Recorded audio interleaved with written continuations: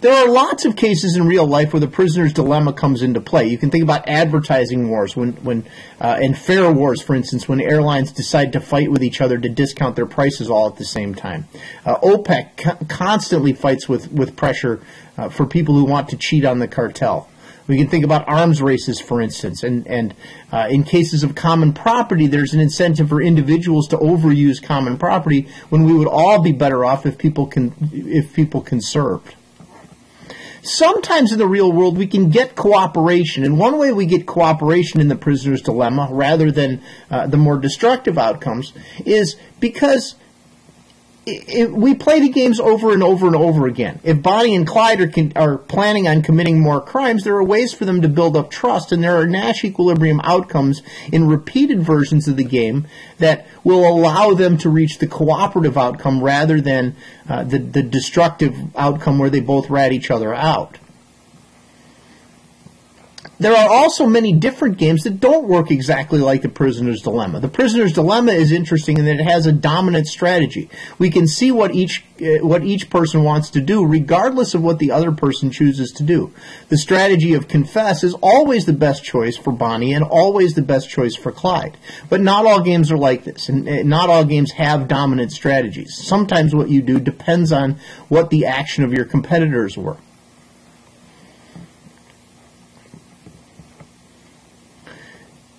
A note about oligopoly is that sometimes oligopolies lead to different uh, lead to inefficient economic outcomes and sometimes public policy can figure out ways to improve on the outcomes that we reach there have been uh, a, we, we have a very active antitrust department in the United States, and the antitrust department is in charge of enforcing laws to prevent destructive collusion. But it's important to note that it's not always wise to intervene in antitrust situations. One of the things that the Justice Department does is examine mergers and acquisitions and whether or not two firms uh, merging is really a sort of anti-competitive behavior, a way to make sure that uh, to bring collusive, collusive incentives uh, inside of a firm at the detriment of consumers. But it's not always wise to intervene in antitrust situations. Sometimes when fir- firms merge, they can, for instance, take advantage of economies of scale and l- reduce production costs, which could benefit consumers. This is what companies often argue. It's also important to note that some competitive practices that, that might look like collusion can, in fact, be welfare ex- enhancing as well. We mentioned a moment ago that, that sometimes mergers that take advantage of economies of scale can be helpful. Uh, predatory pricing, often thought of as when firms lower their prices to try to drive out their competition. Well, at least in the short run, consumers get lower prices. And so uh, predatory pricing can actually wind up being beneficial to consumers. Tying or bundling of different products may improve efficiency. If, if, your cable company forces you to buy a number of things as a package, but perhaps this is a more efficient way uh, to produce things in some instances. And also resale price maintenance, the practice of making sure that your retailers uh, sell at a certain price, maintain a certain relatively high price. Sometimes this can protect product quality by ensuring that uh, that the retail store won't skimp on uh, providing, say, customer service.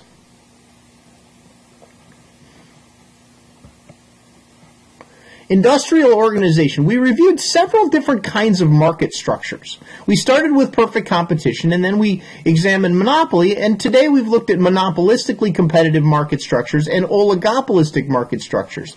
And there are some important things to think about as we consider uh, as we consider the distinctions and differences both from a uh, both from a uh, a standpoint of what the market looks like and also a standpoint of how these market structures perform in terms of economic efficiency. The first thing is that uh, along the continuum, per, we run from many firms in perfect competition to one firm in monopoly. In some in some industries, we have free entry and exit, perfectly competitive and monopolistically competitive entry and exit. The distinction between perfect competition and monopolistic competition is the is that uh, with perfect competitors, they're selling identical or products that consumers perceive as identical products. In the long run, both both of these kinds of competitive markets lead to zero profits. It may be the case that oligopolistic uh, industries lead to zero profits as well, uh, but that really depends on the on the nature of the strategic games that they're playing. In monopoly, however, monopolists, because entry is restricted, can potentially maintain positive economic profits uh, for the long run. All firms, note, produce where marginal revenue equals marginal cost. This is the importance of thinking marginally. In equilibrium, firms set marginal revenue equal marginal cost. With the perfect competitor, they will produce where price equals marginal cost as well.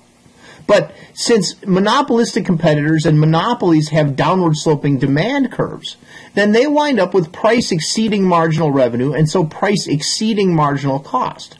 What this means here is that monopolistic competitors and monopolists produce an inefficient quantity of output and produce above the bottom of their average cost curve. They produce with excess capacity and generate economic deadweight losses. The perfectly competitive market we mentioned has some nice efficiency profits. The firms are all uh, produced at the efficient scale, and the consumer and producer surplus total is maximized. That is, consumer and producer welfare, society welfare, is maximized at the long run equilibrium in a perfectly competitive market.